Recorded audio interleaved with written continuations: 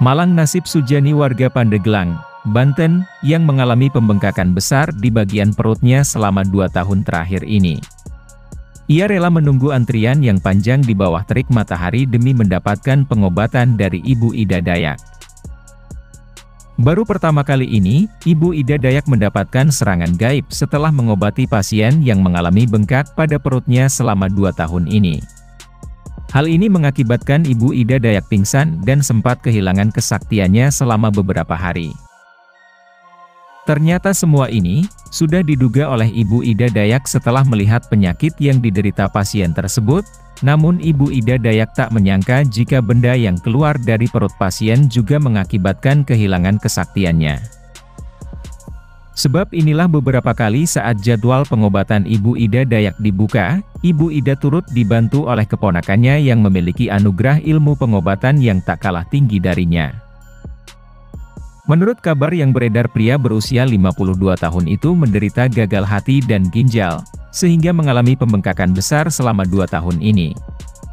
Namun siapa yang menyangka, penyakit yang berawal dari gagal hati dan ginjal ini menjadi gejala awal penyakit gaib yang menimpanya. Hal ini pun baru diketahui ketika Ibu Ida Dayak dengan dibantu keponakannya mengobati pria tersebut, betapa terkejutnya Ibu Ida melihat perut pasiennya semakin membesar ketika ia memulai ritual pengobatannya. Biasanya Ibu Ida Dayak tak butuh waktu yang lama ketika mengobati pasiennya, namun kali ini Ibu Ida Dayak sampai kewalahan mengobati pasiennya hingga memakan waktu satu jam. Betapa terkejutnya para pasien yang lain ketika Ibu Ida berhasil mengeluarkan penyakit pria tersebut, hingga semua menangis menyaksikan perjuangan Ibu Ida Dayak mengobati Sujani. Sebelumnya, selama dua tahun ini Sujani menjalani pengobatan di RSU Banten, namun tak kunjung membaik hingga sang istri memutuskan untuk mencoba pengobatan alternatif Ibu Ida Dayak. Siti Surnawati, istri Mujani mengatakan bahwa suaminya sering mengeluhkan sesak nafas. Kondisinya semakin memburuk dari hari ke hari, ucap sang istri.